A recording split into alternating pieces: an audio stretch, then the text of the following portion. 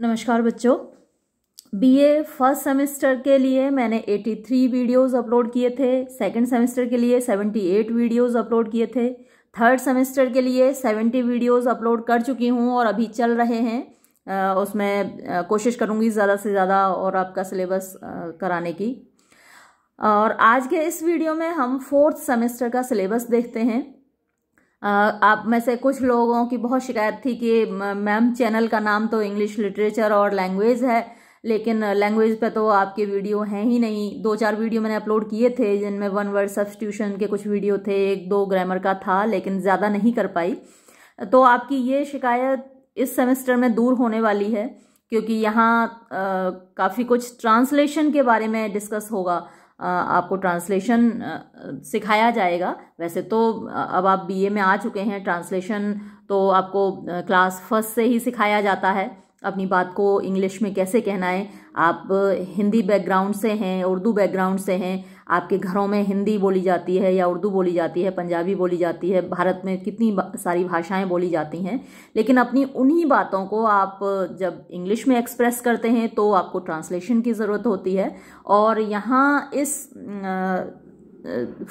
Semester में, यानी कि आपके फोर्थ सेमेस्टर में ट्रांसलेशन पर फोकस है, क्योंकि इस सेमेस्टर का जो पेपर है, कोर्स का टाइटल ही है Indian literature in translation and translation practice. ये कोर्स का टाइटल है। फोर्थ सेमेस्टर का जो आपका पेपर होगा, उसका टाइटल यही है, इंडियन लिटरेचर इन ट्रांसलेशन। यानी कि ट्रांसलेशन में जो इंडियन लिटरेचर अवेलेबल है, जैसे हिंदी का लिटरेचर है, पंजाबी लिटरेचर है मराठी लिटरेचर है तो उनका इंग्लिश में ट्रांसलेशन होके आपको पढ़ने को मिलेगा। और आधा जो पार्ट है इसका ट्रांसलेशन प्रैक्टिस यानी आपको ट्रांसलेशन सीखना है। Hindi to English English to Hindi एक पैराग्राफ आपके लिए आएगा आपके पेपर में, वो आपको ट्रांसलेट भी करना है। तो इस बार मैं ट्रांसलेशन भी आपको कराऊँगी। कोशिश करूँगी, जैसे मैंने आपके पिछले सेमेस्टर्स में सहयोग किया है और मैंने अपनी तरफ़ से पूरी कोशिश की आपको कराने की, और इस सेमेस्टर में भी मैं कोशिश करूँगी। तो चलिए देख लीजिए अपना सिलेबस आपका जो फ़र्स्ट यूनिट है, उसमें इंट्रोड्यूसिंग ट्रांसलेशन यानी ट्रांसलेशन का एक इंट्रोडक्शन है आपके समक्ष। A brief history and significance of translation in a multi linguistic and multi cultural society like India यानी एक ब्रीफ हिस्ट्री होगी, एक संक्षिप्त इतिहास होगा। एंड सिग्निफिकेंस माने एक महत्व होगा, आपको बताया जाएगा ऑफ़ ट्रांसलेशन अनुवाद का इन अ मल्टी लिंग्विस्टिक का मतलब होता है बहुभाषाई, है ना? जहाँ एक से ज़्यादा भाषाएँ बोली जाती हैं, अब आप अमेरिका में जाइए, वहाँ इंग्लिश बोली जाती है, इंग्लैंड में जाइए, वहाँ इंग्लिश ही बोली जाती है, फ्रांस में जाइए, वहाँ फ्रेंच बोली जाती है, जर्मनी में जाइए, वहाँ जर्मन भाषा बोली जाती है, लेकिन भारत जैसे देश में तो बहुत सारी भाषाएँ बोली जाती हैं हमारे यहाँ यूपी, बिहार में हिंदी बोली जाती है, राजस्थान में हिंदी है मध्य प्रदेश में हिंदी है, लेकिन महाराष्ट्र में जाएँगे तो वहाँ मराठी है है ना? तमिलनाडु में जाएँगे, वहाँ तमिल है। तो मल्टी लिंग्विस्टिक सोसाइटी है एंड मल्टी कल्चरल सोसाइटी है, यानी बहुसांस्कृतिक समाज है हमारा लाइक like इंडिया यानी भारत जैसे देश में ट्रांसलेशन बहुत ज़्यादा इम्पोर्टेंट हो जाता है, क्योंकि जो हमें, हम हिंदी बोलते हैं तो हमको तमिल भाषा समझ में नहीं आती, और वो तमिल बोलते हैं तो उनको हमारी हिंदी भाषा समझ में नहीं आती तो एक कनेक्टिंग लैंग्वेज है इंग्लिश हमारे लिए, वो जो हमको आपस में जोड़ती है। मैं आप लोगों से जुड़ी हुई हूँ, बहुत सारे मतलब पूरे इंडिया से, के बच्चों से मैं जुड़ी हुई हूँ। बहुत सारे आपके मैसेजेस आते हैं। भारत को तो छोड़िए। मेरे पास बांग्लादेश से, पाकिस्तान से और नेपाल से, कई सारे देशों से बच्चों के मैसेजेस आते हैं। तो वहाँ मैं किस तरीके से जुड़ी हुई हूँ? इंग्लिश के माध्यम से ही तो हम लोग जुड़े हुए हैं एक दूसरे से।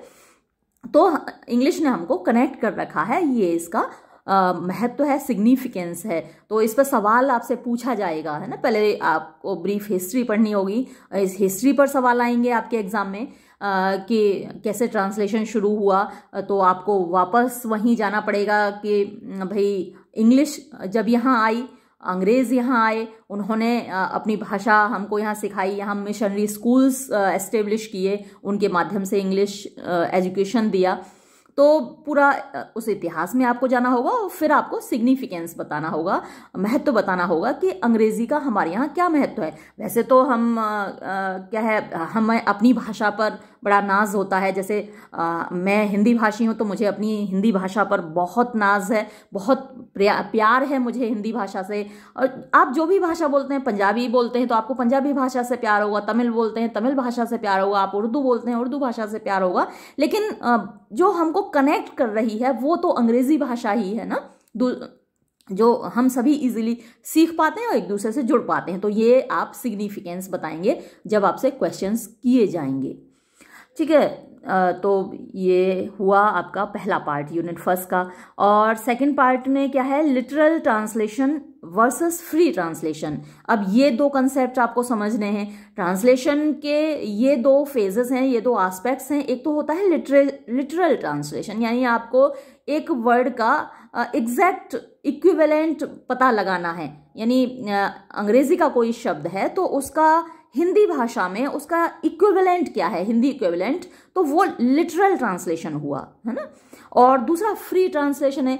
फ्री ट्रांसलेशन में क्या है? स्पिरिट आ जानी चाहिए। यानी कि मीनिंग समझ में आ जाना चाहिए। ज़रूरी नहीं कि आप एग्जैक्ट इक्विवेलेंट बताएँ उस भाषा का, है ना? तो वहाँ थोड़ी सी फ्रीडम होती है, आपको आज़ादी होती है कि आप अपने तरीके से भी बात को समझा सकते हैं। यानी इंग्लिश में जो बात कही जा रही है वो हिंदी में आप अपने तरीके से समझा दें। एग्जैक्ट इक्विवेलेंट अगर आपको नहीं भी मालूम है तो वो फ्री ट्रांसलेशन होता है। फिर सेकेंड यूनिट देखते हैं। यहाँ पर using tools of technology for translation अब तो बहुत सारे ऐप्स आ गए हैं ट्रांसलेशन के। मोबाइल में आपके में बहुत सारे ऐप्स होंगे आपके कंप्यूटर में होंगे लैपटॉप में होंगे। आप हिंदी में बोलिए, वो इंग्लिश में ट्रांसलेट कर देते हैं। या आप इंग्लिश में बोलिए, वो हिंदी में ट्रांसलेट कर देते हैं। हालाँकि वो सटीकता नहीं आ पाती। कई बार मैंने देखा है मेरे घर में मेरे मतलब हस्बैंड ये मेरे बच्चे बताते हैं कि, मम्मी, आप इसको क्यों नहीं यूज़ करते ये ऐप्स तो जब देखा हमने बल्कि टाइपिंग के लिए बोलते हैं कि आप टाइपिंग के लिए जैसे हम रिसर्च पेपर्स अपने टाइप करते हैं तो कि आप टाइपिंग के लिए इसको यूज़ कीजिए, आप बोलिए और ये टाइप कर देगा। लेकिन वो इतनी मिस्टेक्स करता है, हम कुछ बोलते हैं, वो कुछ सुनता है। और ट्रांसलेशन में तो वो अर्थ का अनर्थ कर देता है, कबाड़ा कर देता है। तो देखिए ये मशीनें हैं चाहे मोबाइल है कंप्यूटर है लैपटॉप है ये सब मशीनें हैं। मनुष्य ने बनाई हैं ये मनुष्य का स्थान कभी नहीं ले सकती। तो हम जो ट्रांसलेशन करते हैं वो आ, कोई भी कंप्यूटर लैपटॉप नहीं कर पाता। आप वरना आप मुझे रिक्वेस्ट नहीं भेज रहे होते कि मैम इस कहानी को हमें बता दीजिए पढ़ा दीजिए या इस ऐसे को हमें पढ़ा दीजिए। क्योंकि कोई भी मशीन वो ट्रांसलेशन नहीं कर सकती जो हम मनुष्य करते हैं जो हम ह्यूमन बींग्स करते हैं। इंसानों की जगह मशीनें कभी नहीं ले सकती इस संसार में। लेकिन फिर भी हमें यहाँ पर बताना है using tools of technology for translation computer mobile translation इनका इनके बारे में इनके ऐप्स के बारे में बताना होगा कि इस तरीके के ऐप्स हैं uh, हम उनके माध्यम से ट्रांसलेशन कर सकते हैं। सॉफ्टवेयर और translating different kinds of text with different levels of complexity and for transliteration तो किस तरीके से हम सॉफ्टवेयर का यूज़ कर सकते हैं, ऐप्स का प्रयोग कर सकते हैं, कंप्यूटर मोबाइल का प्रयोग कर सकते हैं, और क्या भूमिका ये सब ऐप्स, ये सब अप्लायंसेस ये सारी मशीनें ये सारी टेक्नोलॉजी ये सारी तकनीक निभा रही है ट्रांसलेशन के फ़ील्ड में? तो ये सब डिस्कस किया जाएगा यूनिट सेकंड में। फिर आएगा यूनिट थर्ड इसमें है फिक्शन फिक्शन आप शॉर्ट फिक्शन तो पढ़ चुके हैं। फ़र्स्ट सेमेस्टर में था, आपके लिए कहानियाँ थी। अब यहाँ पर रविन्द्रनाथ टैगोर की ये रचना है the home and the world इसको ट्रांसलेशन किया है सुरेंद्र नाथ टैगोर ने। तो ये आपके सिलेबस में है। हाँ कोशिश करूँगी अपलोड करने की। और अमृता प्रीतम का है पिंजर। ये मेरा सबसे फेवरेट नॉवेल्स में से एक है। और इस पर जो फ़िल्म बनी थी पिंजर, गजब फ़िल्म थी उर्मिला मातोंडकर की और मनोज बाजपेयी की। रोंगटे खड़े कर देने वाली फ़िल्म थी, अगर आपने नहीं देखी है तो देख लीजिएगा। और ये तो मेरा फेवरेट है, इसको तो मैं पूरी पूरी कोशिश करूँगी इसको अपलोड करने की। हालाँकि पूरा नावल तो अपलोड करना मुश्किल है, क्योंकि नावल काफ़ी वॉल्यूमिनस होता है। लेकिन इसकी कहानी और इस पर क्वेश्चंस वो अपलोड करने की कोशिश करूँगी। और आगे देखते हैं। फिर आपकी फोर्थ यूनिट है, इसमें पोइट्री है। जयशंकर प्रसाद का आँसू है जो कि ट्रांसलेटेड वर्जन में उसका टाइटल है द गार्डन ऑफ़ लोनलीनेस और इसका translation Charles S J White ने किया है और दिल्ली मोतीलाल बनारसी दास से जो पब्लिकेशन का नाम है, वहाँ से ये पब्लिश है तो आप वहाँ से इसको ख़रीद सकते हैं। फिर है कबीर का the English writing of Rabindranath Tagore और ये 94 में पब्लिश हुआ है और ये पूरी डिटेल्स आपको दे रखी हैं। ससर कुमार दास, साहित्य एकेडमी और ये verses one, two, eight, twelve, fifty three, fifty nine, ये वर्सेस आपके लिए हैं, सिलेबस में हैं। तो अब देखिए, मुझे खुद ही ये मंगाने पड़ेंगे क्योंकि मेरे पास ये है नहीं, ये जो सारा लिटरेचर है पिंजर तो मेरे पास है, लेकिन बाकी ये सब मैं खुद भी ऑर्डर करूँगी और आप लोग भी ऑर्डर कर लीजिएगा, मंगा लीजिएगा। अब ये मत सोचिएगा कि इनमें से कोई रह जाए पढ़ाने से कि मैम आपने टेक्स्ट तो मंगा लिया और फिर हमें कराया नहीं अपलोड नहीं कराया। बेटा, मैं कोशिश कर सकती हूँ, क्योंकि बहुत सारे काम होते हैं, मैं बार बार आपको ये बताती रहती हूँ। कोशिश मेरी पूरी रहती है तो मंगा लीजिएगा आप लोग और ख़ुद भी थोड़ा पढ़िएगा। फिर शॉर्ट फिक्शन में भीष्म साहनी का है। अमृतसर आ गया। शॉर्ट फिक्शन में, यानी कि ये शॉर्ट स्टोरीज होती हैं, कहानी होती हैं। वो, ये नॉवेल्स थे, जो पीछे नॉवल थे, ये पोइट्री थी और ये शॉर्ट फिक्शन यानी कि कहानियाँ। तो भीष्म साहनी की कहानी है, अमृतसर आ गया और महाश्वेता देवी की कहानी है द हंट अभी तक महाश्वेता देवी की जो हमारे यहाँ सिलेबस में थी, वो द्रौपदी थी। उसके लिए बहुत बच्चों ने रिक्वेस्ट भेजी, लेकिन वक्त ही नहीं मिल पाया और मैं उसको अपलोड भी नहीं कर पाई। थर्ड ईयर में है हमारे यहाँ महाश्वेता देवी का, द्रौपदी कहानी है। देखिए, आगे कोशिश करूँगी। फिर है ड्रामा। जो आपका सिक्स यूनिट है, ड्रामा में मोहन राकेश का आधे अधूरे है, हाफ़ वे हाउस नाम से, और विजय तेंदुलकर का कन्यादान है। और आपका जो सेवेंथ यूनिट है, इसमें ट्रांसलेशन प्रैक्टिस है। यानी मैं अभी आपको बताया था ना, एक वन पैसेज फॉर ट्रांसलेशन। एक पैसेज आएगा ट्रांसलेशन के लिए, हिंदी टू इंग्लिश। तो हिंदी में आएगा पैसेज अब वो आपको इंग्लिश में ट्रांसलेट करना है। तो फिर हम वापस वहीं चलेंगे। आप बचपन से वैसे पढ़ते आ रहे होंगे। भाई प्रेजेंट पास फ्यूचर तीन टेंस होते हैं। फिर उन तीन टेंसेज के चार पार्ट होते हैं। Present indefinite tense present continuous tense present perfect tense present perfect continuous tense है ना? तो ये प्रेजेंट के चार पार्ट हमने किए थे। आपको बचपन का याद होगा। पढ़ाया गया होगा क्लास में। हमको भी पढ़ाया गया था। कुछ हमने खुद पढ़ा था, कुछ टीचर्स ने पढ़ाया था। पास्ट के भी इसी तरीके से चार पार्ट होते हैं past indefinite past continuous past perfect past perfect continuous इसी तरीके से फ्यूचर के होते हैं। Future indefinite future continuous future perfect future perfect continuous तो वो हम एक एक करके सारा कुछ पढ़ेंगे। और जैसे मॉडल्स हैं, उनका यूज़ कहाँ किया जाता है? Would should could ought may might must मतलब ये जो मॉडल्स होते हैं, जिनके साथ हमेशा वर्ब की फ़र्स्ट फॉर्म ही आती है आपने ये यूजेस पढ़े होंगे ना रूल्स पढ़े होंगे तो एक बार फिर से आपके बचपन की ओर लौटेंगे और कोशिश करेंगे कि ये पूरा हम टेंसेस और ट्रांसलेशन आपको कराएँ। आ, फिर इसका दूसरा पार्ट जो होगा सेवेंथ यूनिट का one एसेंजा for translation Hindi to English है? ये क्या? आ, अच्छा वन स्टेंजा अच्छा। वैसे यहाँ अच्छा अगले वाले में इंग्लिश टू हिंदी तो यहाँ पर स्टेंजा होगा। स्टेंजा मतलब कि पोइम का एक पार्ट होगा, है ना? पैसेज क्या होता है? वो प्रोज का होता है। गद्यांश इसको हिंदी में बोलते हैं और स्टेंजा को हिंदी में पद्यांश बोलते हैं। यानी कि पद्य का, यानी कि पोइट्री का एक स्टेंजा आपको आएगा। वो आपको ट्रांसलेट करना होगा हिंदी टू इंग्लिश अरे बाप रे। अच्छा हिंदी की कविता दी होगी, है ना? हिंदी की कविता को आप इंग्लिश में ट्रांसलेट करेंगे। ये तो आपके लिए बड़ा, थोड़ा कठिन काम होगा। मान लीजिए कविता आ गई। थाल सजा कर किसे पूजने चले? प्रात ही मत वाले। कहाँ चले तुम राम नाम का पीताम बर्तन पर डाले? चले झूमते मस्ती में, तुम क्या अपना पथाए भूल? कहाँ तुम्हारा दीप जलेगा? कहाँ चढ़ेगा माला फूल?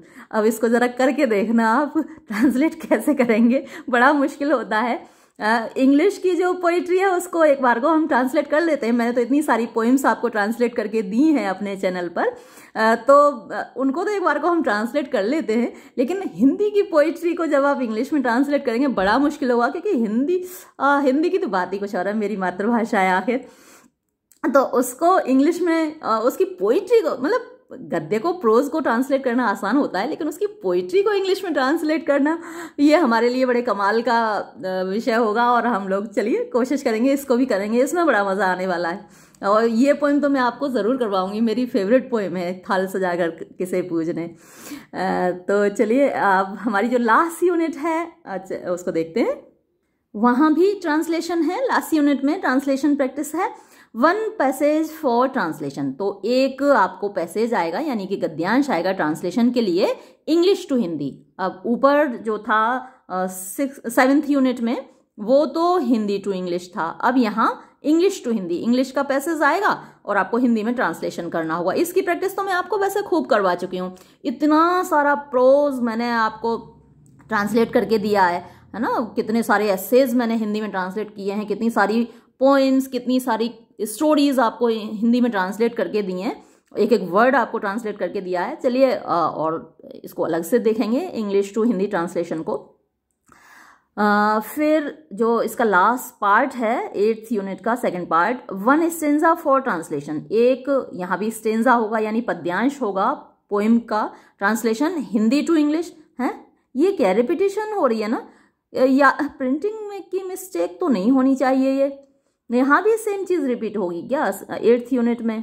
अगर आप लोगों की यहाँ यूनिवर्सिटी में क्योंकि ये ही सिलेबस ऑलमोस्ट सभी यूनिवर्सिटीज़ में है अपने यहाँ तो। वीर बहादुर सिंह पूर्वांचल यूनिवर्सिटी में यही है। अलीगढ़ की राजा महेंद्र प्रताप यूनिवर्सिटी में भी यही सिलेबस है। और राजा, वो रज्जू भैया यूनिवर्सिटी जो इलाहाबाद में है, वहाँ का यही है। काफ़ी बच्चों के मैसेज आते रहते हैं तो सिलेबस तो यही है सभी जगह। लेकिन ये रिपीटिशन मुझे थोड़ी सी डाउटफुल लग रही है।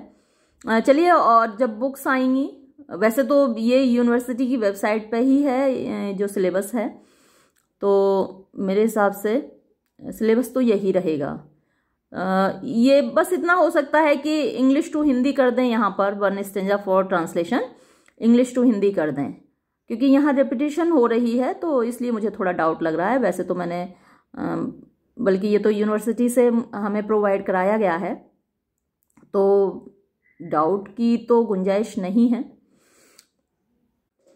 बच्चों, मैंने अभी वीडियो यहाँ पॉज करके मैंने देखा वेबसाइट पे जाके।